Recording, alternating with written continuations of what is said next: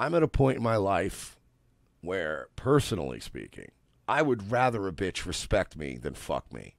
Period. There's a lot of things in life your ass just don't get. Yeah, like pussy and respect.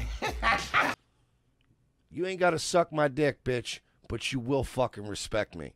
So I don't care. If you want to do your little fedora tipping, uh, speak good to women.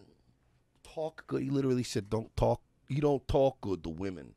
I don't speak well to them, is what you meant to say.